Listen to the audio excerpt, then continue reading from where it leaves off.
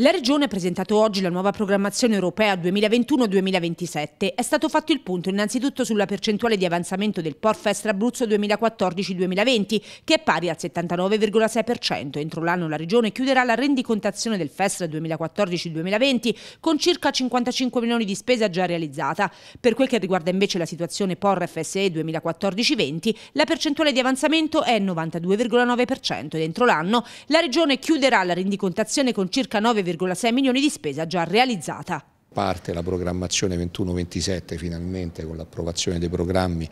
da parte della Commissione, un programma che è due volte e mezza quello precedente, quindi la capacità di spesa deve essere dimostrata almeno il doppio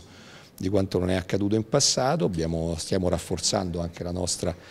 capacità amministrativa e l'assistenza tecnica e gli strumenti offerti anche alle amministrazioni comunali perché poi i soggetti attuatori di tanti di questi programmi non è direttamente la Regione ma sono i tanti altri soggetti attuatori che noi supporteremo e sosterremo con l'obiettivo di eh, costruire e realizzare un Abruzzo migliore che superi i divari territoriali. Passando alla programmazione FESTRA FSE 2021-27, il totale dedicato alla programmazione è di circa un miliardo. Per il programma FESTR il totale è di 681 milioni di risorse con diverse priorità, ha ricordato il presidente Marsilio, su tutte l'innovazione tecnologica.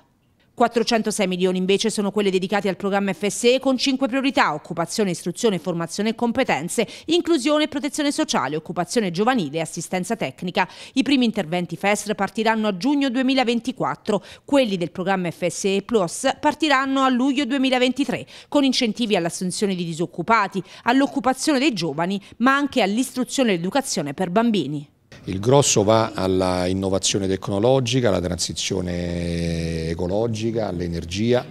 Eh, tre quarti dei fondi relativi al Fondo Europeo di Sviluppo Regionale sono su queste, su queste voci di spesa, mentre sul Fondo Sociale grande attenzione per le politiche dell'occupazione, sia quelle generali che quelle soprattutto rivolte ai giovani, quasi la metà della spesa viene rivolta a queste voci, sono le particolari urgenze ed emergenze del territorio e poi una forte attenzione anche al superamento